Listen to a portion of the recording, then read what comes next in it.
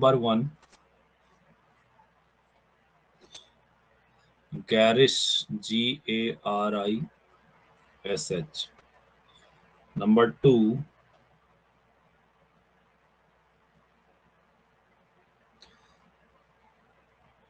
Gird, G I R D. Number three, Grandiose.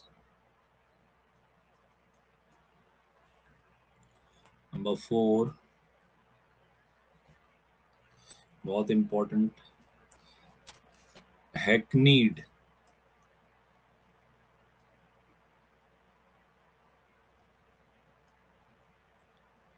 Number five,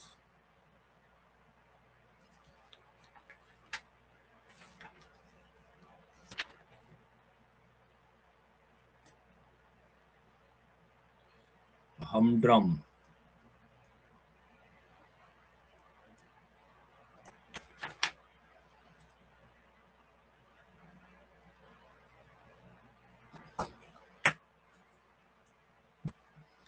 पहले पाँच synonym पे बात आती है, ठीक है?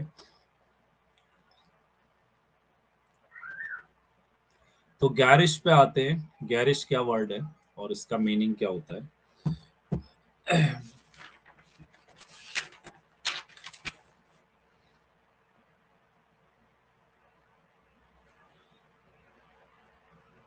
इसके लिए मैं तुम्हें बहुत ही शानदार एक उदाहरण देता हूँ। तुम कभी जो है लंबे सफ़र में गए हो? प्लेन्स की साइड हरिद्वार हरिद्वार या कहीं? नगीना बिजनौर धामपुर से होके गुजरे हो?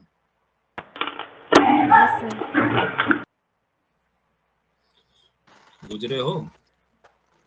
यस सर खास करके बस बस में गए हो? बस में अपनी कारों में नहीं बस में।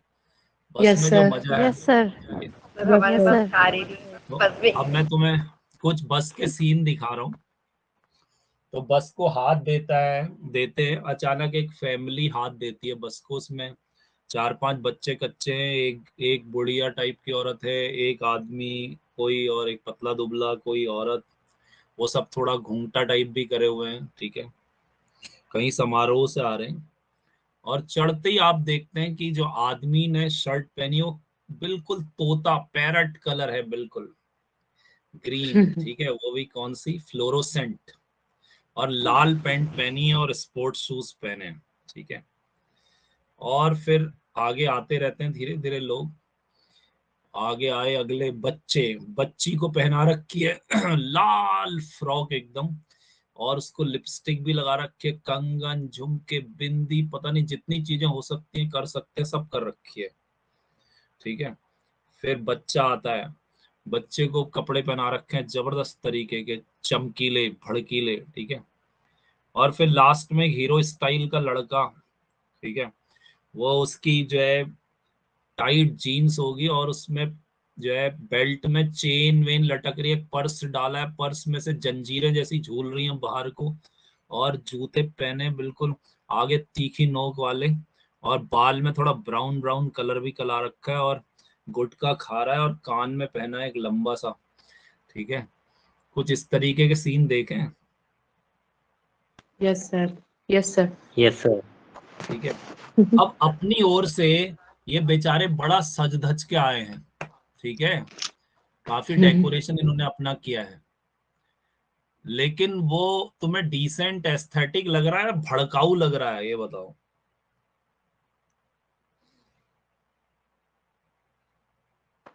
बड़ा शोई किस्म का बड़ा गॉडी ऐसा लग रहा है कि नहीं?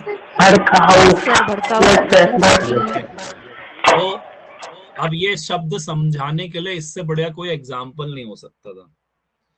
कि जब आप कोई चीज़ को ऐसे डेकोरेट कर दें या इतना डेकोरेट कर दें कि वो शो शोबाजी करने के लिए वो अच्छा ना लग के गॉडी लगे बहुत ज़्यादा अति हो गई जहाँ। ठीक है? एक होता है थोड़ा बहुत सजा दो अच्छा लगता है। एक ये है कि बिल्कुल ज़बरदस्त करके जैसे आजकल क्या है, शादी में दो तरीके की कारें आती हैं।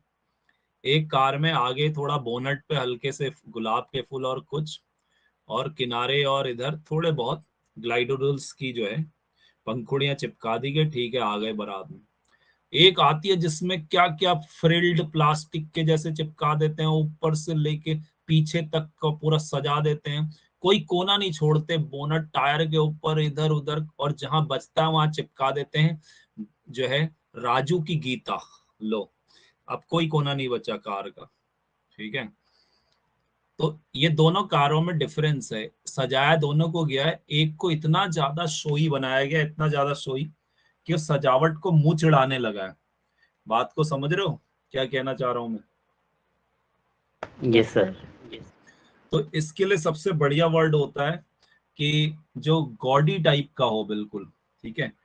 तो अब हम इसके लिए जो शब्द लिखेंगे, वो है आपका तो गैरिश होता है क्या? Unpleasantly gaudy unpleasantly gaudy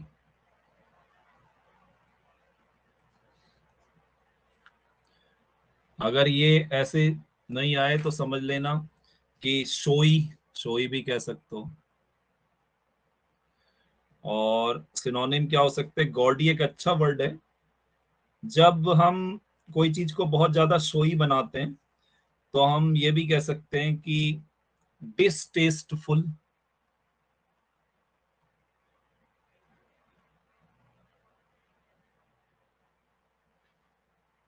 unattractive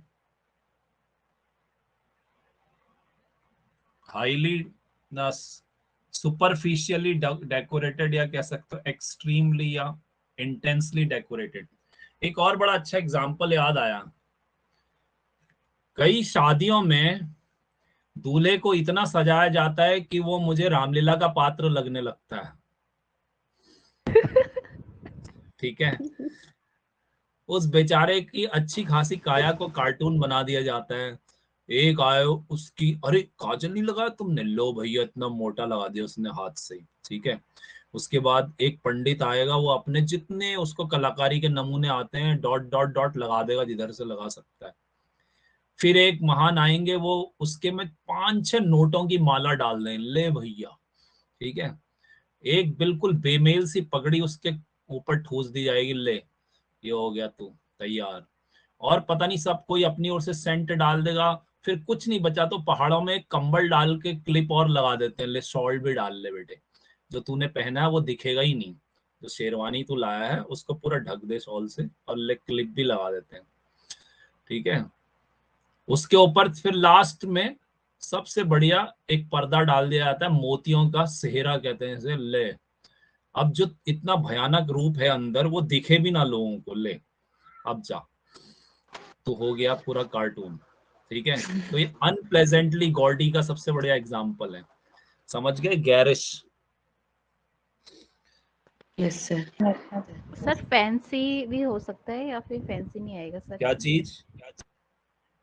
sir fancy word fancy नहीं फैंसी तो थोड़ा क्या होता है कि फैंसी में एक खूबसूरती होती है। फैंसी थोड़ा अच्छा सा लगता है अट्रैक्टिव होता है ठीक है? और ये तो बड़ा अनप्लेजेंट लगता है ठीक है? जिसमें लोग ये कहते हैं ओई जा के बना रखो इनूल अपन चल को यो। ठीक है? दूल्हे को क्या बना के ले आई है ऐसा? ये वाला है गैरिश ठीक है? हमसे Okay, सजा तो देते कोई ठीक है? हाँ। कहूँ मरूमियो के बना लग रखो इनको? ठीक है? तो ये वाला जहाँ डायलॉग मिलता है वो गारिश है। ठीक है? क्लियर ओके हाईली डेकोरेटेड बिल्कुल क्लियरिंग ग्लिटरिंग ठीक है? उसके बाद आते हैं। गर्ड गर्ड भी बहुत ज़्यादा यूज़ किया गया। छोटा वर्ड है बिल्कुल लेकिन बहुत ज़्यादा यूज़ होता है गर्ड अब गर्ड पे आएँगे तो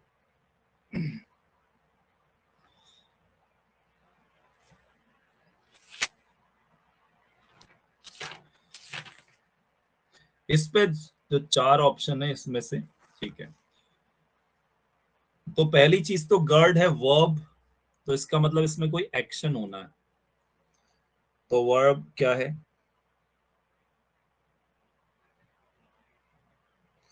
जैसे तुम्हें ये लगता है कि तुम एक लेक्चर और एलटी की तैयारी कर रहे हो तो लेक्चर और एलटी का जो टास्क है वो एक बहुत केक वॉक है या फिर हरक्यूलियन टास्क है?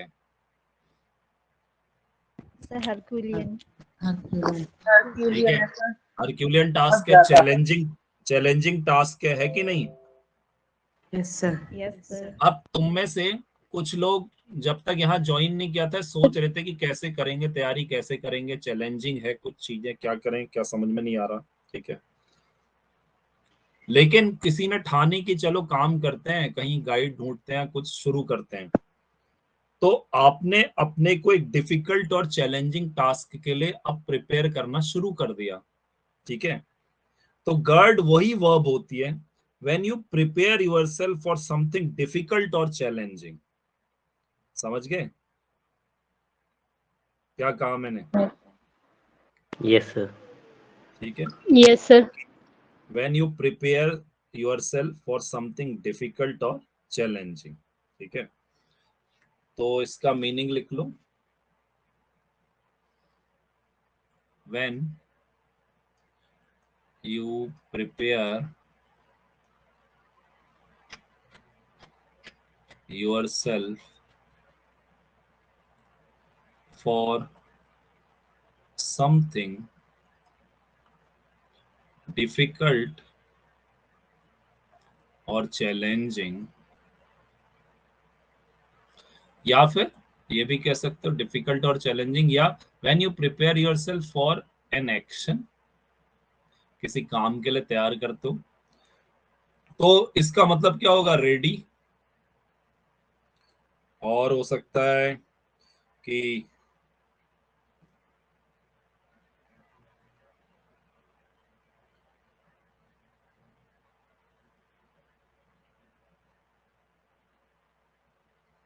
बाउंड टू डू समथिंग ठीक है?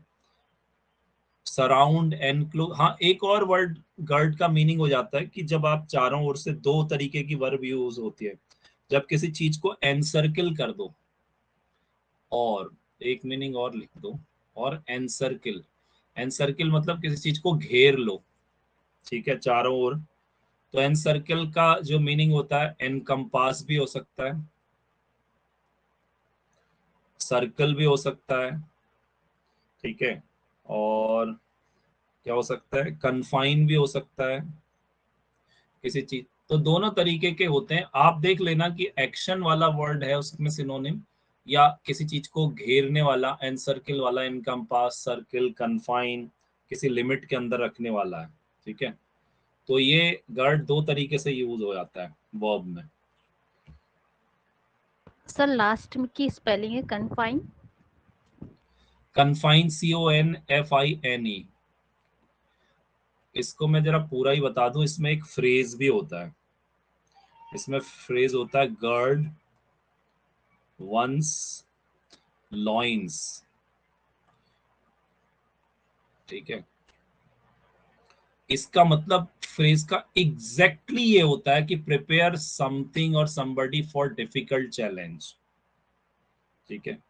तो अगर तुम किसी चैलेंज के लिए तैयार हो रहे हो तो तुम कहोगे आई एम गर्डिंग माई सेल्फ ठीक है? आई एम गर्डिंग माई लॉइंस ठीक है? फॉर एल टी एग्ज़ाम और लेक्चरर एग्ज़ाम तो मैं अपने आप को डिफ़िकल्ट चैलेंजिंग टास्क के लिए तैयार कर रहा हूँ। तो गर्ड वंस लॉइंस का मतलब यही होता है prepares oneself for something difficult और challenging. तो ये दो तीन तरीके के इसमें डिस्क्रिप्शन हो गए अरे कमर कसना यही हो गया हिंदी में। बिल्कुल सही। कमर कसना एकदम सही तुमने कहा।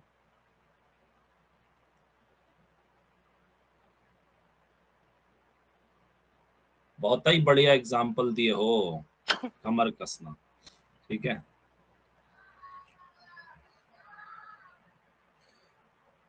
अब अगले वर्ड को तो तुम थोड़ा सा एज्यूम कर सकते हो। तो करने की कोशिश करो तुमने पढ़ा भी होगा ग्रैंडियोस क्या होता है? पर ग्रैंड स्प्लेंडेड हाँ एक तरीके से जब कोई चीज़ बहुत ही इम्प्रेसिव या फिर स्टाइल या अपियरेंस में बड़ी इम्प्रेसिव होती है ठीक है? जो लोगों को क्या लगे बिल्कुल ऐसा लगे कि लोग उसमें खो गए या उससे बहुत अट्रैक्ट हो गए। बड़ा इम्पोजिंग सी होती है वो। लोगों को खींच लेती है अपनी ओर। तो something very impressive very imposing in appearance और स्टाइल ठीक है? जैसे तुम कहीं जाते हो तो बेसिकली एडजेक्टिव है। तो मैग्निफिसेंट जैसे कह सकते हो तुम, ठीक है? ग्रैंडियोस का मतलब मैग्निफिसेंट समथिंग और एक हो सकता something very impressive and imposing sir splendid हो सकते हैं। बिल्कुल हो सकता है। इम्पोजिंग फिर आप कह सकते मार्वेलस मार्वलस हो सकता है। और स्प्लेंडेड हो सकता है लेकिन एक वर्ड बड़ा अच्छा बता रहा हूँ इसका स्प्लेंडेड के अलावा। जब कोई चीज़ बड़ी ज़बरदस्त होती है ना उसे कहते हैं मॉन्यूमेंटल मॉन्यूमेंट के जितनी बड़ी मतलब इतनी ग्रैंड ठीक है मॉन्यूमेंटल हो सकता है। तो इतने काफ़ी है लेविश लग्जूरियस लेविश हो सकता है। बस काफ़ी सर, मॉन्यूमेंट या मॉन्यूमेंटल मॉन्यूमेंटल कहा मैंने। अरे, लिखा नहीं ओके मॉन्यूमेंटल ठीक है, नहीं तो मॉन्यूमेंट तो नाउन हो गया ना मॉन्यूमेंटल एडजेक्टिव हुआ। ठीक है?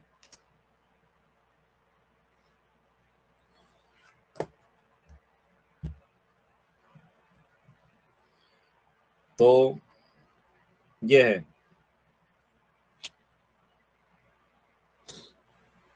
जैसे तुम कह सकते हो I saw the old two hundred years old church there and it had the grandiose facade or grandiose angles या grandiose curves in the building तो ये सारी चीज़ें ऐसे यूज़ हो जाती हैं एडजेक्टिव को नाउन से पहले लगा के ये मेरा आज का सबसे इंपॉर्टेंट वर्ड है जो बार बार पूछा गया है जो नेक्स्ट वाला है और ये हैकनीड हैकनीड बेसिकली कई बार पूछा गया है वर्ड और एक बार बार कई एग्ज़ाम्स में आता है। इसको पढ़ते हैकनीड है, ठीक है? और अब हैकनीड क्या होता है इसको समझते हैं। जैसे हम कहेंगे एक खास कोई चीज़ तुमसे क्वेश्चन पूछता हूँ कि कोई ऐसी चीज़ बताओ जिसमें बहुत ज़्यादा जो बहुत ज़्यादा यूज़ की जा सक, इतनी ज़्यादा यूज़ की गई हो, ओवर यूज़ हो गई हो कि अब वो जो है कोई नयापन नहीं लगता हो, ओरिजिनल नहीं? जैसे तुम घर में या किसी से या अपने दोस्त से कहते हो, वो बार बार कुछ ऐसा डायलॉग मारता है कि तुम किसी दिन ये कहते हो अरे बहुत हो गया भाई तेरा ये कुछ नया बता यार। ये बहुत सुन सुन के पक गए कुछ नया है तेरे पास? ऐसा कभी डायलॉग सुना है? यस सर यस सर ठीक है। क्लीशे क्लीशे तो जब कोई चीज़ इतनी बार रिपीट हो जाती है कि उसमें ओरिजिनलिटी छूट जाती है बहुत ओवर यूज़ हो जाता है किसी चीज़ का। जैसे आज के दौर पे कौन सी चीज़ सबसे ज़्यादा ओवर यूज़ हो रही होगी कि सुन सुन के बोर हो गए तुम? कोई ऐसा डायलॉग या ओवर यूज़ हो चुका हो कि अब तुम्हें वो बिल्कुल पसंद ही नहीं आता।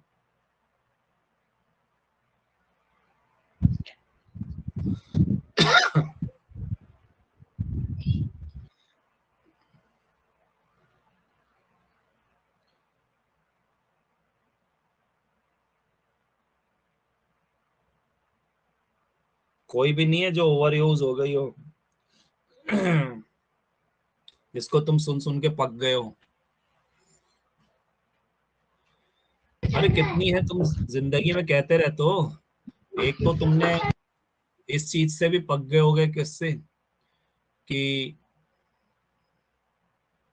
जब बिल्ली रास्ता काट जाए तो जो है कुछ बुरा होता है। ऐसा सुना होगा कभी? यस yes, सर बहुत पक गए होगे आपसे सुन सुन ठीक है? सर और किस चीज़ से पक गए हो तुम सुन सुन के बताओ।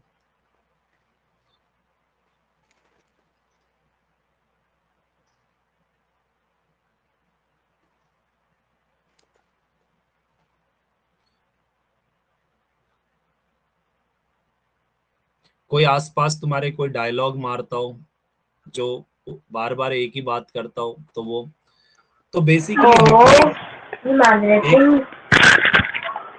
क्या क्या?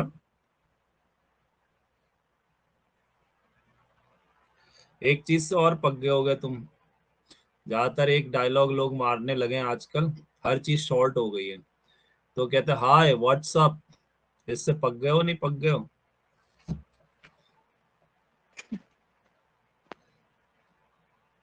यस सर तो ये इतनी ज़्यादा ओवर यूज़ हो रही है तो ये अपनी ओरिजिनलिटी छोड़ देती है।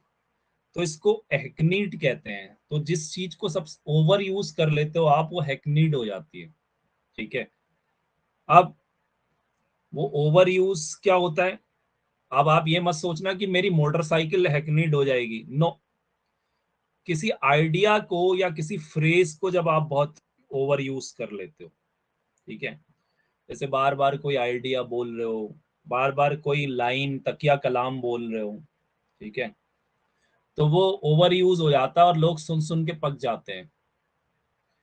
तो अभी फ़िल्मों के डायलॉग हैं बहुत ज़्यादा चलते हैं और लेकिन अब इतने कोई इतना चल जाता है इतना सुन लेते हैं कि अब बोर हो जाता है ठीक है?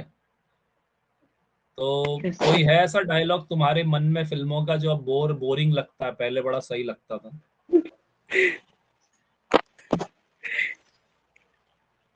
बोलो बोलो शर्मा क्यों रहे हो?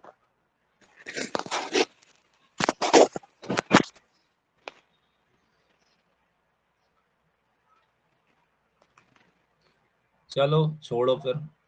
तुम्हें कोई याद नहीं आ रहा है फ़िल्मों के डायलॉग मुझे तो अब ये डायलॉग भी बोर लगने लगा है कितने आदमी थे रे। ये भी अब मुझे बोर लगता है। ठीक है? जब बचपन था जब बचपन था तो बड़ा हम इंटरेस्टिंग तरीके से इसे देखते थे। अब तो मुझे गब्बर सिंह को देख के हँसी आ जाती है डर कम लगता है। ठीक है? तो बहुत ही बोरिंग लगने लगा मुझे गब्बर सिंह अब। और बचपन में हम कहीं से भी टू की आवाज़ सुने उसकी हो बेल्ट घिसने की और चलने की तो दौड़ के टीवी के पास अब आ गया, गब्बर सिंह आ गया, ठीक है? लेकिन अब मुझे वो सबसे बोरिंग लगता है, ठीक है? तो अब वो हैकनीड हो गया, ठीक है? तो जितना भी आप अनओरिजिनल हो गया ओवर यूज़ होने की वजह से वो हैकनीड होता है। तो जैसे तुम कह दोगे there is an hackneyed old saying in our society that honesty is the best policy ठीक है? इससे भी बोर हो गए हम बहुत। कहते सब हैं और करता कोई नहीं है। ऑल राइट तो अब ओवर यूज़ किसी का कर दिया जाए तो इसको बिल्कुल क्लियरली लिखो कि एन आइडिया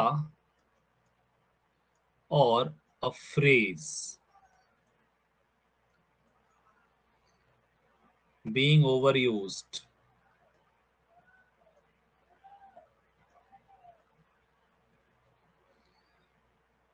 तो जो चीज़ ओवर यूज़ हो जाती है तो उसको कहते हैं हम अनओरिजिनल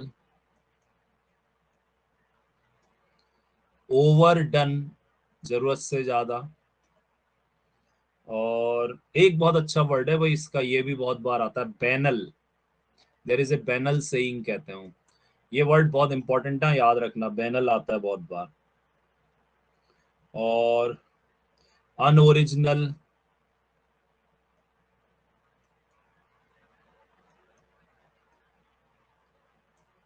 सर ऊपर ऊपर भी ऊपर भी लिखा है ऊपर भी रिपीट रिपीट बोरिंग बोरिंग और क्या? और क्या? सर अनओरिजिनल सेम है ना सर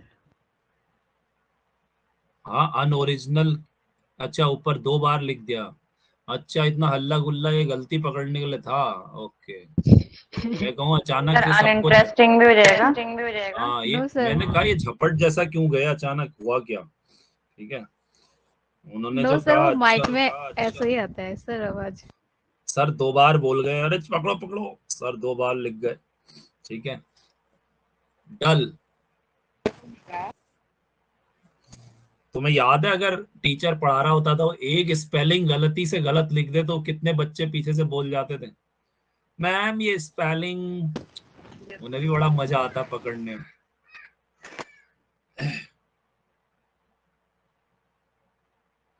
हो गया, काफ़ी है। और कुछ आ रहा अच्छा वर्ड तुम्हें। सर क्लीशे भी हो सकता है, क्लीशे। अरे वाह क्या वर्ड दिया है क्लिशे बहुत अच्छा। ये तो एक और वर्ड है बढ़िया जो आता है क्लिशे ठीक है? सर एन्यूई भी तो होता है। क्लिशे भी हैकनीट का बहुत अच्छा एग्ज़ाम्पल है। ठीक है? और किसी ने अभी कुछ और बोला था? Sir ennui A double N U I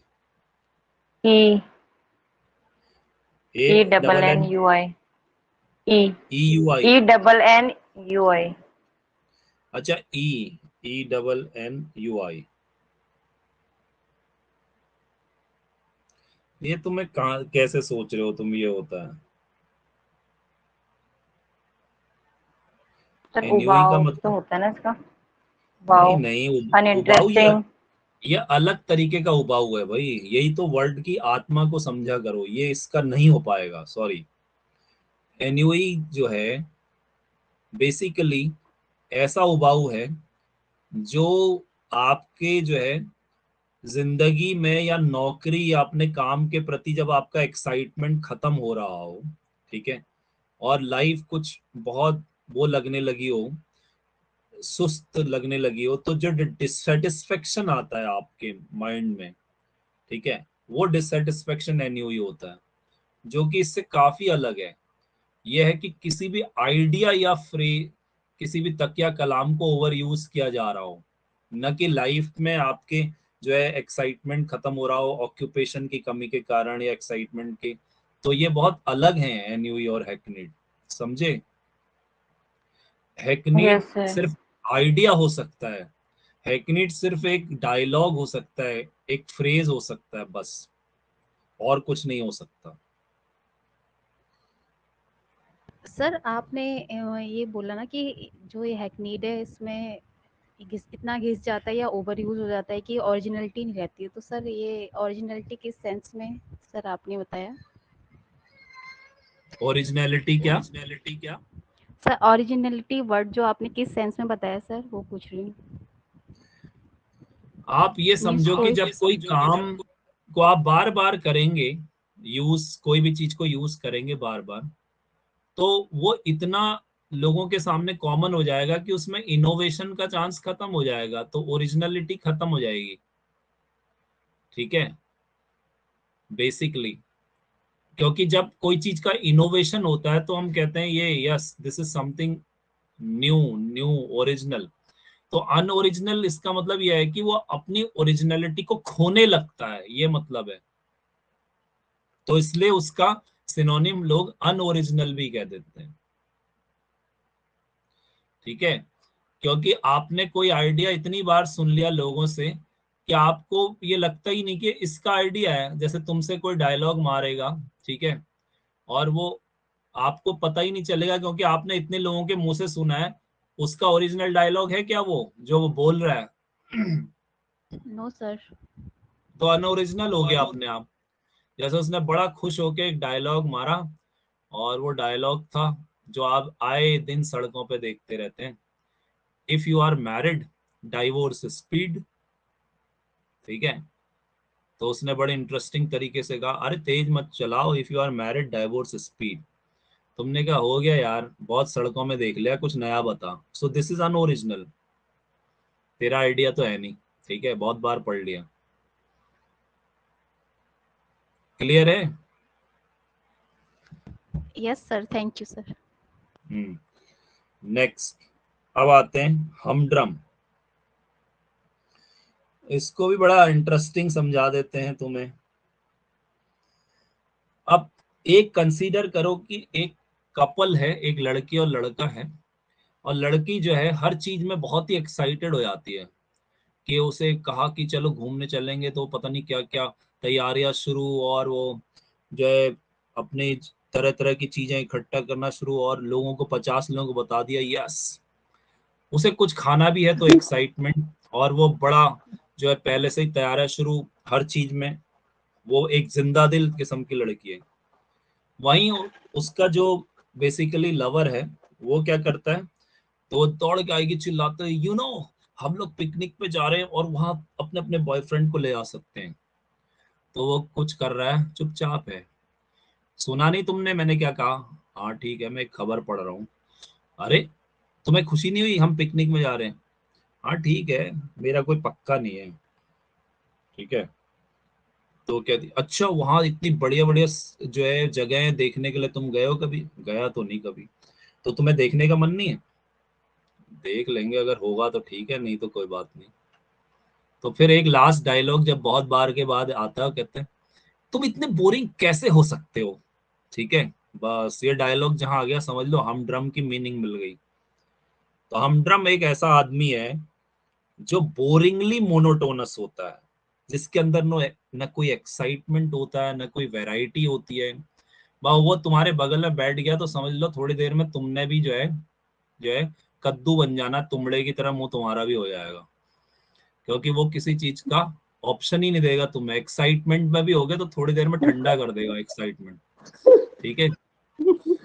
बारिश कितनी हो रही है ना? चलो गर्मा गर्म मैगी खाएँ। ठीक है?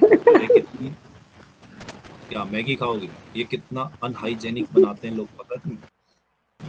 बैठे रहो यहाँ पे। मैगी वैगी रहने दो। घर से चाय ठीक है? चाय पकौड़े खाओ। हाँ घर से लाई हो ना चाय उसे पियो। मैगी खाएँगे। देख रही हो गंदगी कितनी हो रही है उसके और लोग कैसे खड़े वहाँ बस उसका एक्साइटमेंट खत्म वही। ठीक है? वाओ, कोहरा। चलो उस कोहरे से अंदर जाए, घूम के आते हैं अंदर ठीक है? तो क्या कहेगा पता है? हाँ कोहरा। बाघ भी इतने ही आते हैं, कोहरे में। अभी झपट्टा मारा ना, कहाँ ले जाएगा चलो वापस अपने अपने घर। ठीक है? तो ये है हमडम तो इसको तुम ऐसे याद कर लेना याद कर कि जब हमदम बड़ा बोरिंग हो जाए तो हमड्रम है समझ लो। ठीक है? सर आप सर? हाँ। सर आपकी पैरा लैंग्वेज फैंटास्टिक है। अच्छा धन्यवाद। जर्रा नवाजी का शुक्रिया। Welcome sir. लैकिंग एक्साइटमेंट किसी भी लिटरेचर और लैंग्वेज वाले को पैरा लैंग्वेज में अच्छा होना ही चाहिए तुम्हें भी सबको। बच्चों के साथ। तभी yes, तो मज़ा है लैंग्वेज का। लैकिंग एक्साइटमेंट और वैरायटी या बोरिंगली मोनोटोनस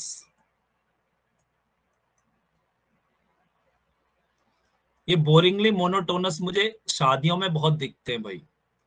एक बीवी बेचारी सजी धजी आती है बच्चों के साथ वो संभालते रहती है अपने को कभी कोई इधर लटक रहा है कान में कोई वो सब चीज़ें संभालने होती हैं ठीक है? और पेटू उसके साथ साथ चलता रहता है कुर्सी में धस जाता है बैठ के ठीक है? उसके बाद वो वहीं बैठा है और ऐसे बैठा है जैसे उसकी सारी जायदाद उजड़ गई हो। कभी इधर देख रहा कभी हाथ मुट्ठी बाँध के बैठ गया कभी हाथ और थोड़ी थोड़ी देर में थोड़ा बच्चों को अड़का उधर नहीं जाना उधर नहीं यहाँ पे खेलो और बैठा हो। और जो कुछ लाए जा रहा है, वो खाने वाला सब खाया जा रहा है बेसिकली चुपचाप बैठा। है थोड़ी देर में वो खाना ना खा के वैसे ही निकल लेगा, कोई एनिमेशन ही नहीं है उसमें। ठीक है? और उधर जो है वाइफ और बच्चे वहाँ डीजे पे लगे पड़े हैं। एक नौ सौ आओ आओ, अरे, जीजू, आओ आओ। तो उसने कहा, अरे यार, अपने बस का नहीं है। चलो बैठो तुम। तुम ही करो। ठीक है? तो ये हमड्रम है सब। तो जहाँ एक्साइटमेंट की कमी है वैरायटी बोरिंगली मोनोटोनस क्लियर है? सर फ़र्स्ट स्पेलिंग क्या लिखी हुई है sir? L A D L A C K I N G lacking अच्छा Okay, वो sir, मैंने उर्दू में लिख दिया ना ठीक है। L A C K I N G lacking monotonous की भी मोनोटोनियस अरे ये तो तुम्हें आनी ही चाहिए। मोनोटोनस।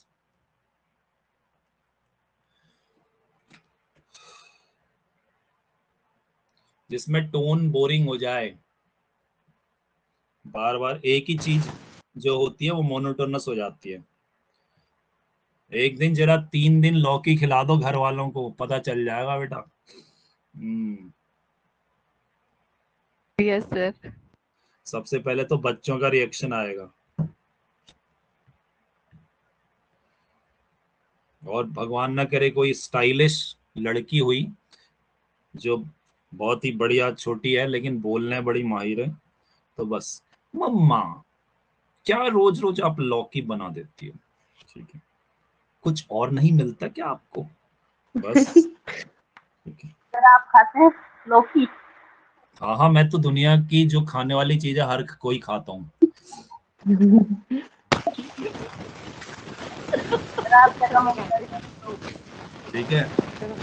लेकिन मैंने अभी दस दिन पहले एक चीज़ छोड़ दी अब मैं नॉन वेज था अब मैं वेजिटेरियन हो गया हूँ कम्प्लीटली अरे वाह सर कॉन्ग्रेचुलेशन धन्यवाद। बिकॉज़ मुझे रियलाइज़ हो गया कि नॉन वेजिटेरियन होना एक बहुत ही बेकार चीज़ है।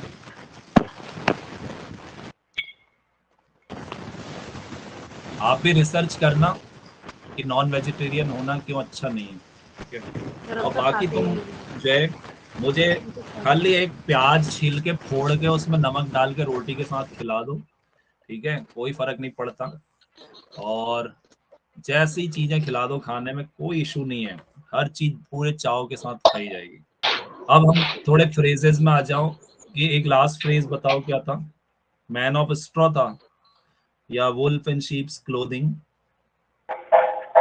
strike to one color color okay To stick to one's colour colours. One's colour ठीक है अब अब लिखिए by fits and starts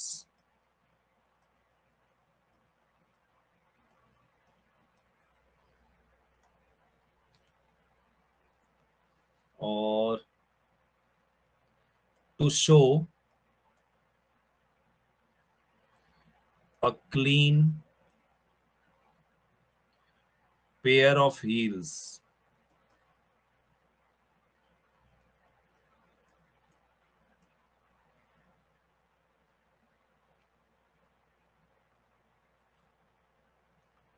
Harp on the same string.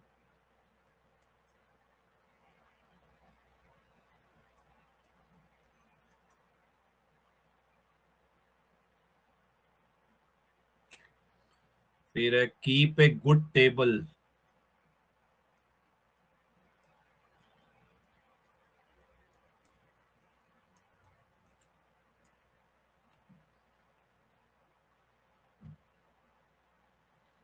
और एक स्प्लिटिंग हेयर्स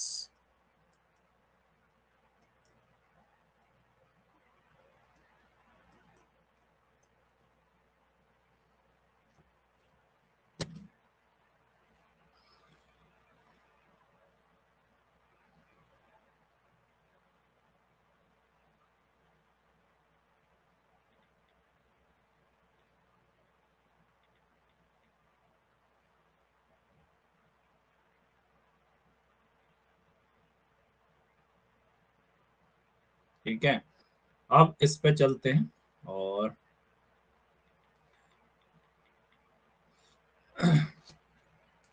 सबसे पहले आते हैं by fits and start by fits and start के लिए मैं सबसे बढ़िया एक ही चीज़ बताऊँगा और तुम्हें एकदम समझ में आ जाएगा, ठीक है? कि घर में कई बच्चे होते हैं, ठीक है? वो जो है, किसी दिन उनको पता नहीं क्या हो जाता है, वो सारा काम सही कर देंगे। उस दिन वो अपने रूम को भी सेट कर देंगे कॉपी किताबें भी सही बिहेव भी सही करेंगे, अपना होमवर्क भी सही से कर लिया बड़े खुश हो तुम कि हमारा बच्चा तो बहुत सही हो गया। लगता है इसमें समझदारी आ गई। अगले दिन वो अपने रंग में आ जाएँगे। सब बिखेरा हुआ, कोई चीज़ तोड़ भी देंगे, फोड़ भी देंगे, सब। और पता नहीं क्या होता है कि जिस दिन मेहमान आते हैं, उस दिन वो बहुत ही अच्छे हो जाते हैं। फिर मेहमान तारीफ़ करते हैं, अरे, बड़ा अच्छा बच्चा है आपका, इतने काम देखो, कितने अच्छे तरीके से सब काम। तो फिर आपका एक डायलॉग आता है और वो डायलॉग इस पूरे मुहावरे को परिभाषित कर देता है। आपका डायलॉग आता है, पूछो मत, ये तो भगवान ने अपने लिए बनाया था, बस हमें दे दिया किसी तरीके से। ठीक है? इसको ना आपको बताऊँ, इसको दौरे पड़ते हैं, दौरे काम के। कभी तुम्हें ऐसा लगेगा, इससे बढ़िया कोई है ही नहीं। दौरे जैसे जो पढ़ते होंगे इसे। और कभी तो ये ऐसा कर देता है कि मन करता है एक लगाऊँ इसे खींच के। ठीक है? इसलिए जो आपको दिख रहा है ना, वो रियल नहीं है। ये अभी देखना, कल देखना, कुछ और ही दिखेगा। दौरे जैसे जो पढ़ते होंगे इसे। ये वाला डायलॉग बहुत है। ठीक है? तो ये जो बाई फिट्स आपने सुना होगा फिट्स सुना है फिट्स फिट्स यस सर ठीक है। बाई फिट्स एंड स्टार्ट तो कभी ये शुरू हो गया कभी बंद हो गया। कभी ये सही हो गया कभी गलत हो गया। कभी ये ठीक टाइम पर उठ गया कभी नहीं उठा। कभी इसने खाना वाना खा के अपनी थाली रख दी जगह पे कहीं कभी वहीं फेंक दी पलंग के नीचे। ठीक है? कभी आके सॉक्स रख दिए जगह पे कभी वहीं उछाल दिए। तो ये है ऐसा आदमी जो इरेगुलर है। बोलो इरेगुलर होगा कि नहीं है एक रेगुलरिटी नहीं होगी इसमें। ठीक है? यस सर ठीक है? अरे दूर क्या जा रहे हो? बच्चों में तुम खुद ही देख लो। एक दिन तुम बनाते हो बड़ा अच्छा पता नहीं किस किसी मोटिवेटर को सुन लेते हो उस दिन। और तुम बनाते हो एक टाइम टेबल सजा सजा के स्केच पेन से लाइन वाइन स्केल से डाल के। ठीक है? दो दिन तक तुम्हारा बिल्कुल सही चलता हो। तीसरे दिन जितना तुमने दो दिन में पढ़ा होता है ना, सब सर से निकाल देते हो, दिन भर गायब हो जाते हो किसी की शादी में। ले, खत्म कहानी। जो तुम्हारा टाइम टेबल था, वो गया धूल में। और चौथे दिन तो तुम्हें याद ही नहीं रहता, कोई टाइम टेबल ही था। पाँचवें दिन, फिर छठे दिन या सातवें दिन या पंद्रहवें दिन, जब तुम्हारे घर में समोसे आते हैं तो एक पेज फाड़ना होता है ना, वो सही करने के लिए। तब वो पेज फाड़ते अरे, ये तो टाइम टेबल है। ठीक है? सर जब सर ये परफेक्ट एग्जांपल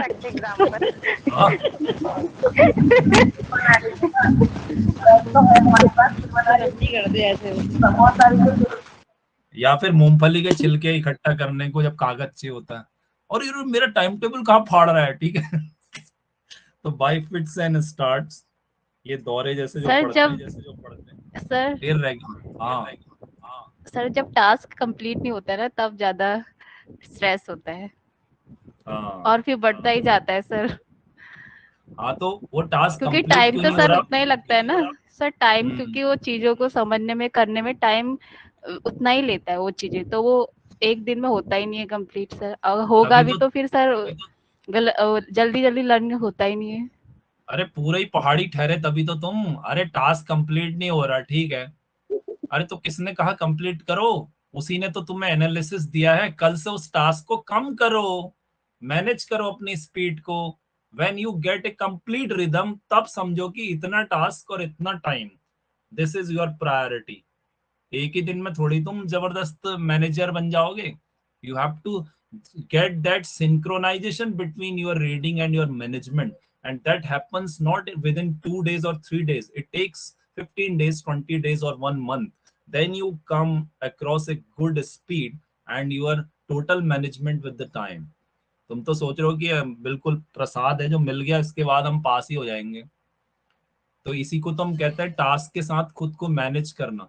तो नहीं हुआ जितना टास्क आपने रखा था तो this is a lesson for you कि टास्क को कम करो और देखते हैं कि आज मैं इतना पॉइंट फाइव परसेंट कम करता हूँ और देखता हूँ कल क्या मैं इतना पूरा कर पा रहा हूँ। ठीक है? ये तुमने कभी नहीं किया होगा। बोलो किया? नहीं किया। सर हाँ, सर, कोशिश तो करते हैं सर। हाँ कोशिश करने वालों की हार नहीं होती लेकिन जो कोशिश लगातार करेगा उनके लिए है ये ठीक है? एक दिन करके कोशिश नहीं होता। हम में से कई लोग कोशिश वर्ड को ही नहीं समझते। वो क्या करते हैं? दस दिन कोशिश करेंगे। बहुत कोशिश की मैंने। पर हो नहीं पाया भाई साहब। बहुत ही कोशिश की। ठीक है? अबे दस दिन में तो मैं सही बात बताऊँ ए भी नहीं बनता है बच्चे से ए बी सी डी का ए तुमने क्या कोशिश कर ली? ठीक है? तो बहुत छोटी छोटी चीज़ें हैं मोटिवेशन में। बड़े बड़े मत सुना करो बहुत बड़े बड़े मोटिवेशन कि एक दिन आप एवरेस्ट जीत लेंगे। अबे कद्दू तूने जीता क्या जो चिल्ला रहा है यहाँ पे? ठीक है ऐसे वाले मोटिवेशन मत सुना करो। ये जो चिल्ला रहे होते हैं ना उछल उछल के इनको ही नहीं पता होता है एवरेस्ट में कैसे चढ़ते हैं। जीत लेंगे कहेंगे। ठीक है छोटी छोटी बातों पे समझो मोटिवेशन को। छोटी छोटी बातें जो बिल्कुल प्रैक्टिकल होती हैं। ओके सर आगे बढ़े आगे बढ़े. Yes, sir. to show a clean pair of heels अब जो है ये समझो कि अगर तुम्हारे आगे से कोई जा रहा है और उसकी हील देखनी है तुमने तो तुम्हारे पास सिर्फ़ दो ऑप्शन है। एक तो तुम उसे छेड़ दो और फिर तुम्हारे गाल और सर में दिखेगी वो हील, ठीक है? ये भी एक ऑप्शन है। और दूसरा ऑप्शन ये है कि वो आपके आगे भागना शुरू करे जिससे उसकी हील दिखे आपको। यही तो ऑप्शन है, दो। कि आपके पास कोई और है?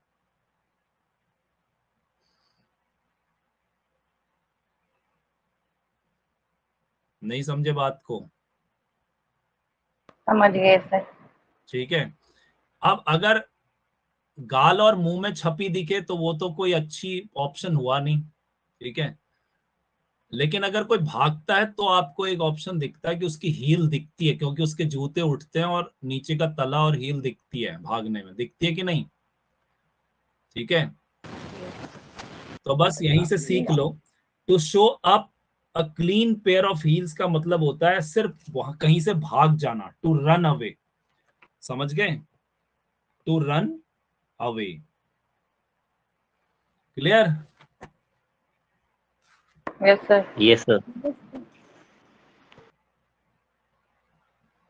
जैसे तुम कहोगे कि that person came with a boasting up that he is going to accompany us for a tiger hunt but when the tiger came oh my god he had shown a clean pair of heels ठीक है? तो वो वहाँ से भाग गया। Harp on the same string harp तो तुम जानते ही हो, ये एक तरीके का होता है, बजाने वाला जिसमें स्ट्रिंग होती है, देखा होगा। ठीक है? ये चंद्रकांता जैसे सीरियल्स में दिखाई देता है, रहा रानियाँ जो है, बढ़िया तालाब में होती हैं, गुलाब वाले तालाब में, और किनारे धुआँ उठ रहा होता है, और एक लेडी बैठ के बस कहीं खोई हुई ट्रिंग ट्रिंग इन्हें बजा रही होती है।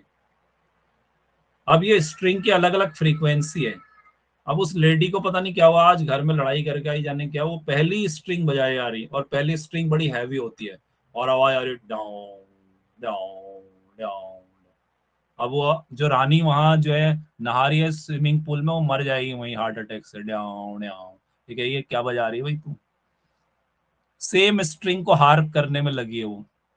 तो ये बड़ा इंटरेस्टिंग हो या बोरिंग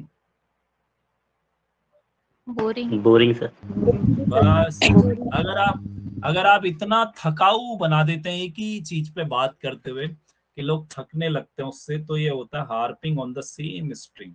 हमेशा एक ही टॉपिक इतना कहते हैं एक ही बात को बार बार इतना बोलते हैं कि उस सीम दैट कि अब यार हो ही गया इससे बढ़िया तो ये बोले ही ना। तो इसका सबसे बढ़िया है टू ड्वेल टीडियसली मतलब थकाऊ तरीके से। On the same subject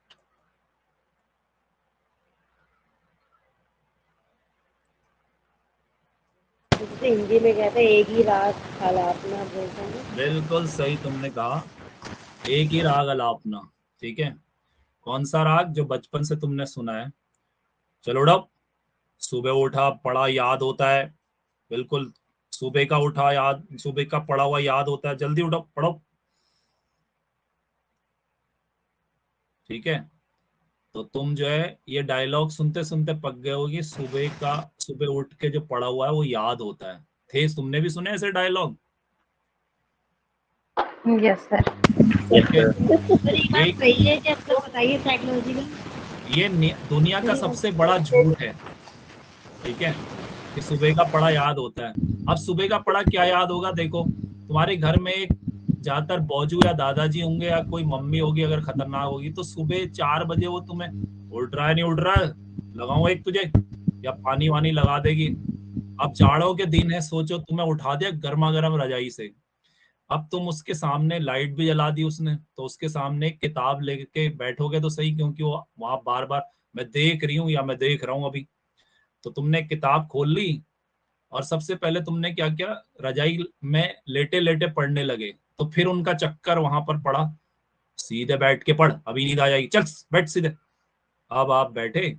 रजाई को आपने एक तो मोड़ के इस घुटने पे दबाया, दूसरा उस पे और हाथ अंदर पैक करके जाड़ा है। हल्की सी उंगली निकाल के पेज पलटाया और फिर अंदर हाथ।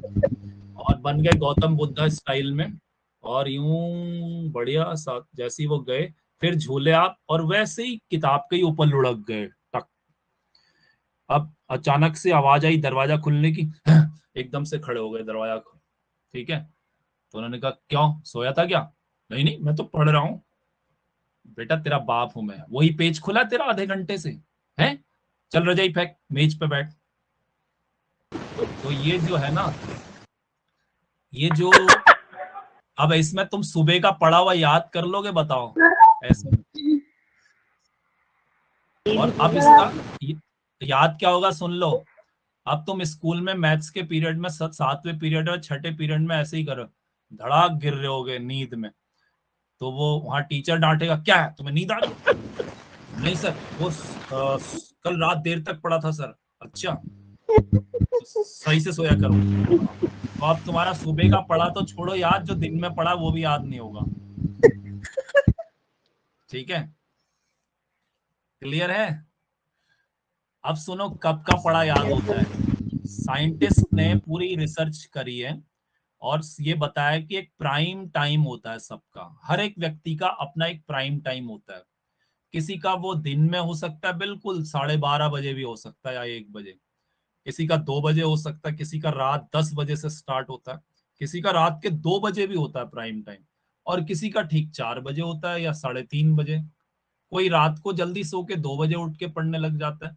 एवरीबडी हैज़ हिज और हर ओन प्राइम टाइम तो अपना प्राइम टाइम जिस पे तुम बेस्ट देते हो, वही तुम्हारा सबसे पड़ा हुआ याद होता है, याद रखना।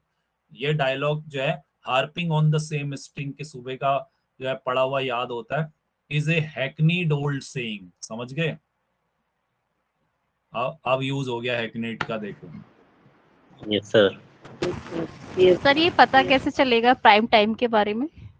अरे वाह। जब तुम्हें ज़्यादा होगी focus। तुम्हें भूख कब लगती है? मुझे पता चलेगा? तुम्हें पता चलेगा? हम पे डिपेंड करता है। अब ये अरे डिपेंड क्या करता है? मतलब ऐसा भी होता है?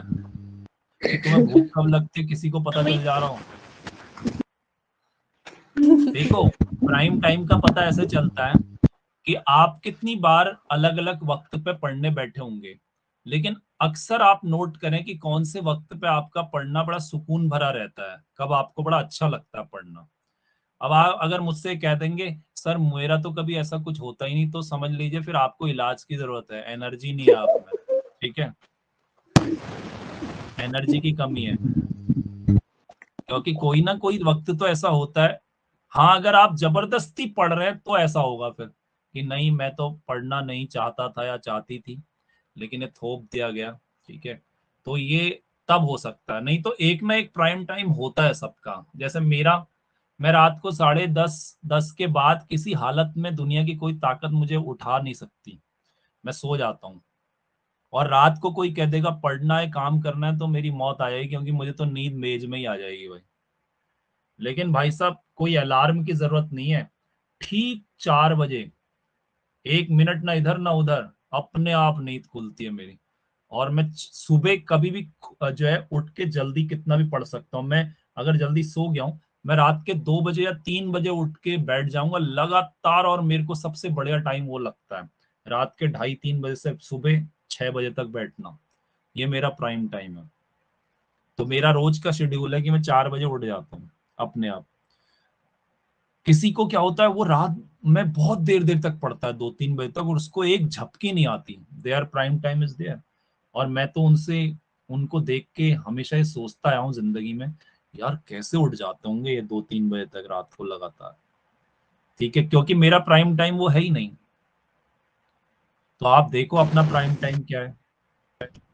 सब पढ़ने के लिए टाइम मिल जाए वही प्राइम टाइम है सर ये देखो ये है ये बुढ़ी आमल बात क्या है? बड़ी आमल Yes, बात क्या है? ठीक है? ये बुढ़ी आमल ने बात कही है टाइम मिल जाए बेटा तो वही बहुत है। ठीक है? बहुत सही बिल्कुल सही।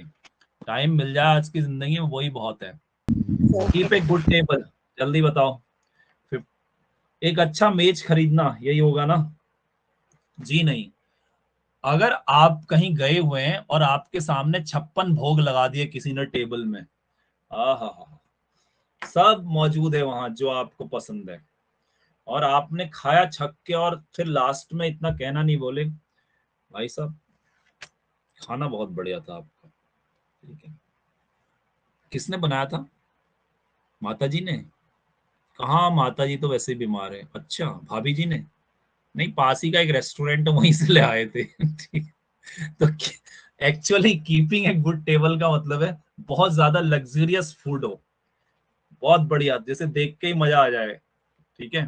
To provide luxurious food